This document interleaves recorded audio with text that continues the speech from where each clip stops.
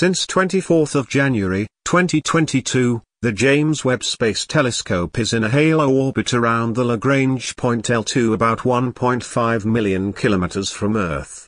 In the same region of space, the Gaia satellite has performed astrometric measurements since July 2014, orbiting L2 in a Lissajous orbit. On Friday the 18th of February, at 8.53 and 10.38 CET, the Webb Observatory has been seen through Gaia's telescopes for the first time. Due to Gaia's continuous scanning of the sky, this will happen again in the future, several dozen times over the next few years. Letting the movie's camera move around the spacecraft's orbits gives a three-dimensional impression. The lines and loops in the background are the orbits of planets.